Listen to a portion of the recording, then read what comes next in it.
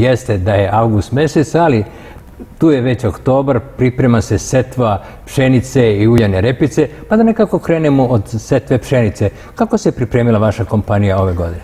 Naravno, kada pričamo o pšenici i kad kažemo agrosava, ono po čemu smo mi prepoznatljivi, a to je jedini prodajemo hibridno seme pšenice na našem tržištu. I imamo dva hibrida, to je HI-FI i HI-STAR. Kada kažemo hibridna pšenica, prvo asocijacija je mala norma setve.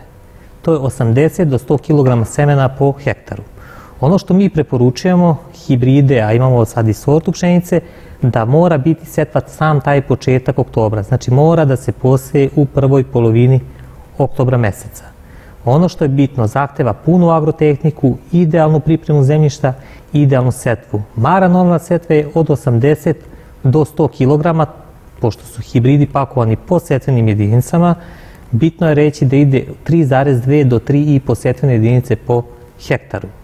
Zašto je hibrid dobar? Ova godina je izuzetno loša za sve useve. Ono što, ne volim da pričam o ogledima, mi smo hibridno seme prodali komercijalno ovako sve i ja sam gledao da ispratim što više poljoprivrednih proizvođača koji su radili. Uvijek sam savjetovao pola hibrid, pola neka vodeća sorta koju već seju.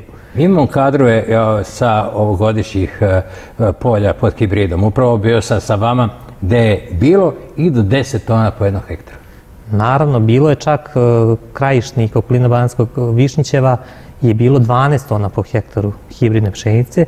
Ono što je bitno reći, u istoj agrotehnici, isti predusev, hibrid u odnosu na neku vodeću sortu kod datih proizvođača je bežo tonu i po po hektaru, čak i više. Chemical Agro Sava takođe ove godine ulazi u još jednu distribuciju semena u pitanje uljena repica. Uljena repica osvaja površine i u Vojvodini ove godine preko 30.000 hektara, čak pet puta povećano u odnosu na prethodne godine. Naravno, pošto se povećavaju e, površine pod uljenom repicom, povećavaju se i potrebe za semenom uljenom repice. Chemical Agro Sava nudi ekskluzivu to prodaje hibridno seme uljene repice, radi se o nemačkom semenu nemačke kompanije MPZ.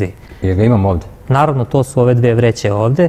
Po čemu su poznati MPZ hibridi? To je prva kompanija koja se u svijetu izbacila hibride uljene repice. Kada je u pitanju uljena repica, takođe je potrebno imati neko iskustvo, znati kako je posijati na vredi. Ona je nešto otpornija biljna vrsta, ali treba i nju blagovremeno spustiti u zemlju. Naravno, što se tiče setve, ona prva sad dolazi, pošto gleda da se potse do polovine septembra. E, pakovanja su po 3 hektara, znači jedna setvana jedinica ide na 3 hektara površine. Ono što je bitno reći, to je neki 40 do 50 semena po kvadratnom metru. Imamo dva hibrida, u pitanju je Mercedes i Sherpa, jako upadljivi nazivi. Hibrid Mercedes ide na nešto lošija zemljišta i tu daje fenomenalne rezultate, dok Sherpa zahteva malo bolja zemljišta.